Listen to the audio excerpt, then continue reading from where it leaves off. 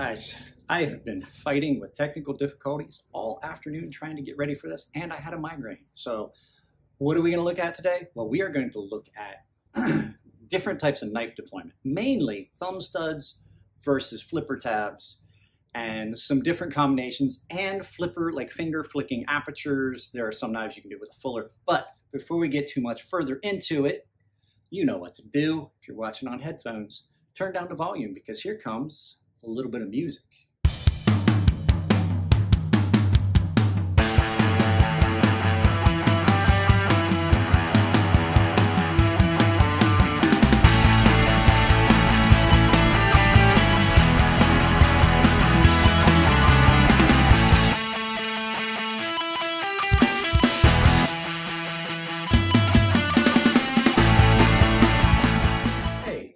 Mike here. Just wanted to throw it out there so that I, future Mike always forgets. If you haven't checked out the merch store, there's a lot of stuff in there. I got sweatshirts, I got t-shirts, I got coffee cups. There's a link in the description. If you want to support the channel, all the sales go to the merch store and providing the stuff, but then it also, I get a portion of the, of the take of it. So like I said, merch store, sweatshirts, t-shirts, coffee cups, they're all really nice. Now, back to future Mike so he can tell you about a knife. Guys, we are going to talk about, I have a bunch of knives with a bunch of different deployment methods. These are my two favorites. So what I've got out is I picked out a bunch of knives. Some of them are uh, thumb stud only. Some of them are flipper tab only. Some of them are a combination. But before we get into that, this is Mike from that chapter. And this is one of my favorite true crime channels on the internet. I watch it all the time. Uh, if you really like true crime, stuff. He digs into it. Sometimes he has unsolved stuff. Sometimes he's got stuff that's solved and he tells you the whole backstory. Great, great, great channel. One of my favorite things is every time he says the word three. Tree. So let's get into this. So I will meet us, well, I'll meet you down at the bench. We'll take a good look at these knives. I will link this channel in the description of my video. So if you guys want to go check it out, it's a great channel. You probably should follow it. So I'll meet you guys down at the table. Trying to get the lighting good here. So these are knives that I have. These bot this bottom row, these are all thumb flippers. Now, not all flippers. This this one's a thumb flipper. This one is more one that you slow roll out. I kind if I'm going to do a thumb stud, I kind of like the option of being able to do that, but you can thumb flip this. Uh, you absolutely can. But some of these, the detent is stiff enough. Like there's no real way to thumb flip or th slow roll this. It it just wants to pop. See what I'm saying? It just wants to pop out. Um, so here we have the the uh, CJRB Centros. It's a thumb flipper. I think this is this one wants to fly out. The problem with ones that that want to fly out is if you try to slow roll them, you can get off of your thumb stud and get down in there and cut yourself. Um, of course, you have this one. This one you can slow roll. Is my Benchmade 940 Osborne uh, with the axis lock. This actually is not hard to to slow roll, and it, it deploys really well that way. It also flips pretty easily, and then you have multiple options. Now, this is the CJRB RIA. It's definitely a thumb flipper. You can't slow roll that one. It just wants to fly open. And then up here, there's a couple that are combos. Like my Norseman has got a thumb stud, which actually will flip pretty well. You can slow roll this if you want.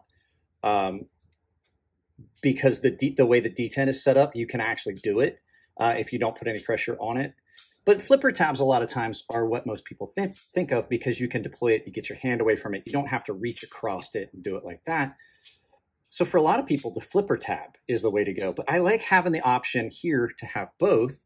Here's another example of a, of a combo. This is the Civivi Brazen, a knife that I really, really, really have come to like. Uh, you guys already saw the first impressions. I talked with Jared about this. Great, great knife the option of being able to have either one, if you like to be able to thumb flip your knife like that or have a flipper tab is nice. Now we're going to get into some of the reasons why you might want to have a thumb stud only. This is the Artisan Mastiff. Now this knife actually can be flipped with the fuller. That's another thing that you can do. You can finger flick it with the fuller. Um, I have a couple knives that are like that. Um, this one you can actually flick with the fuller or use the thumb stud. The action is equally good on both. This is my my uh, Horizon D from Reate in carbon fiber and titanium. Uh, the action is equally good either if you don't get your finger up on the flipper tab. The action is equally good both both ways. And the nice thing about it is you have another option. You can actually, if you, you know, if you pinch it, pop it past the detent, you can thumb roll it open. Now, I do have a knife here that I kind of think falls into the next category, but it's a little bit different. I've never been able to Spidey flick any of the Spyderco knives. I think it's just the size of my hand. And these, except for the, I'm sorry, I take that back, except for the compression lock. I don't think these qualify as that. I think that's just a nice option a lot like the thumb stud where you can just roll it out. I do like the Spidey hole, even though I'm not a big fan of Spyderco knives these days. Uh, used to be, but not so much now.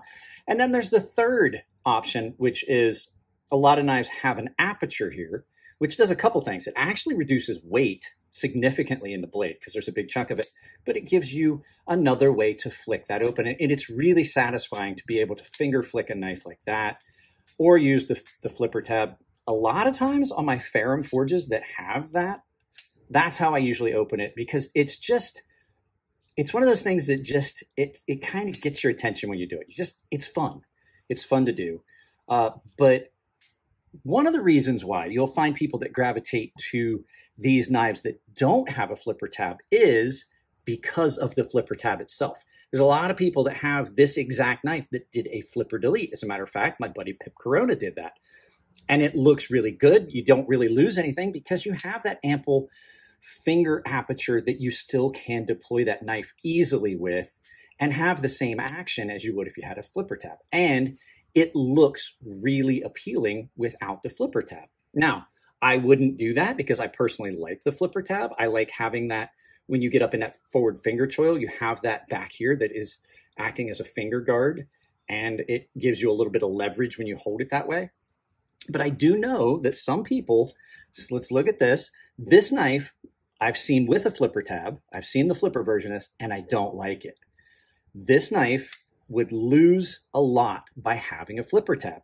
Most of the knives that are in this row, and I think it's just because we've always seen them without a flipper tab, I think they would lose a little bit of their, you know, aesthetics just simply by adding a flipper tab. This knife is beautifully simple and elegant the way it is. If you were to put a flipper tab on this, I think you would lose a lot. It would detract from this knife. The same, especially this, I think this one it would be the most, uh, this knife would be harmed the most with the addition of a flipper tab. It looks great the way it is. It feels great the way it is. And if you were to put a flipper tab on this, as small as this knife is, which is another video I'm going to do, which is small versus large knives, you would lose a lot by having a flipper tab on this knife, I think. Um, I would compare this to a lot to the Urban Trapper. And it has a flipper tab, and I didn't like it. Uh, so this is just one of those knives that just would not look right with a flipper tab. I don't like Axis locks with a flipper tab. It doesn't make sense to put a flipper tab on it. Um, I had the Crag that was the one with the recoil lock, which is basically CJRB's version of the Axis lock. And the Axis lock is not great for flipping. It's just not got the detent you would want. And then this knife, the CJRB Centros, this knife would look horrible with a flipper tab. I honestly think this knife would look bad with a flipper tab. It's like this. This knife does not look right to me with a flipper tab on it. And it's not just the flipper tab they used. So depending on what kind of knife you've got, like what kind of knife you want to carry, I would not want to have this knife without the flipper tab. It doesn't act much as a finger guard, but it's just enough. And I like the deployment with the flipper. Now, do I like both? Yeah, that's why I'm glad it has both. And the thing about this one too is some of these knives, it's nice. You can flip that. I could do this ambidextrous and I could have that like that. This one has double thumb studs. If you happen to be left-handed, I'm not great with knives left-handed because I'm not a lefty, but it allows you to open it both ways, right or left-handed. And this one has a reversible pocket clip, so you'd be able to do that. And then, like I said, these knives don't have it. This knife would not look right with thumb studs. There are some knives that just do not benefit from certain things. This knife does not look, this knife looks fine the way it is. I love the, I love the Artisan Mastiff. Not such a fan of the logo, but you know, hey, I do love the knife. If you were to put thumb studs on this, this knife would not look the same. It wouldn't feel the same in hand, and I would not like it as much. I do have to say, I'm I don't have one over the other. I I predominantly carry these knives, but these are always in my pocket too. So it just depends on the situation. Like, what's in my pocket today? Do I need a rapid deployment on my Sebenza? No, I'm not carrying this as a self-defense tool. This is a work knife. So, you know, it's just up to your personal preference, but I just wanted to show you why, I mean, like, I would not want to put a flipper tab on this. And is there one that's better than the other? I personally find doing a thumb flip or a, an opening an opening aperture a little bit more satisfying sometimes than the flipper. The flipper, it's just that's the way it's always done. But now, like if you've got, especially if you've got something that's unique, you know, the the flipper aperture, you know, the, the flipping, the finger flipping thing has not been around all that that super long. Uh, so learning that little, you know, how do I get my finger in there? How do I do it? Oh, hey, there we go it's kind of satisfying to do it that way because it's it's a unique and different way to open things. Um, this one is by far the best for opening with the flipper uh, aperture with your fin finger flicking it. So it's just one of those things that I like both. Some people have a preference. I don't so much have a preference. I just know that a lot of the knives that do have thumb studs just would not look right with a flipper tab. If you don't believe me, I'm going to put up a picture of this Chaves with a flipper tab.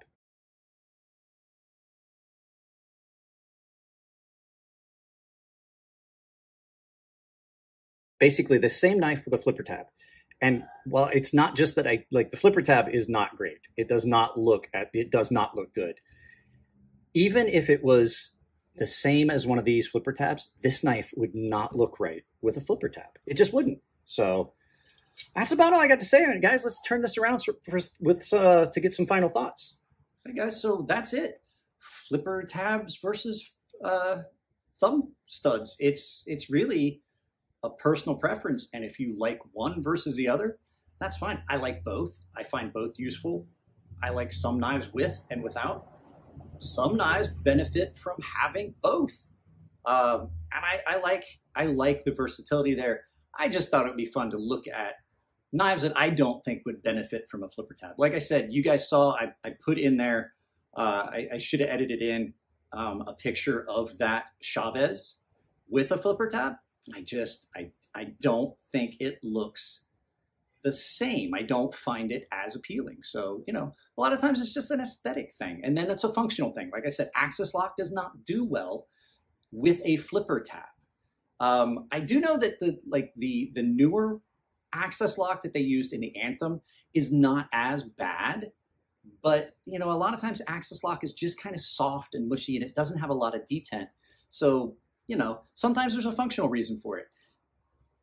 It just all is up to preference. So guys, that's it. If you like the videos, give them a thumbs up. If you don't like them, give them a thumbs down. Please try to tell me why. If you like the channel, you want to try and support the channel, you can always give applause on a specific video. You can set, you can give a set amount, like $2 for a video, just tell me I did a good job. And if you really want to support the channel, because guys like me and Jared Neves, or Jared over at Neves Knives, I should say, we don't ever, none of us do this for free. Uh, it always costs. And anything that you guys do to help out the channel definitely help, even if it's just sharing the videos with other people. Um, if you can't afford this, I, I get it. Money's money's uh, hard to come by these days. Times are tight. So if you can just share the videos, that's even, that's just as good. So um, there are affiliate links down below. Uh, I have a merchandise store, like I mentioned before. It is in a transitional state right now, but you can still use it and go see. I think there's two items on there right now, but it's it's swapping over. But I also have an affiliate link with Ember Shirt Co., who prints all the shirts. And I have a specific affiliate link that's down below that will take you to not only just the shirts, but a giveaway where they're giving away like $2,000 worth of stuff. So, guys, that's it. I love you all. Take care of yourselves. Be good to each other in the comments. Keep it clean so I don't have to moderate that. I love you all, and I'll see you in the next video.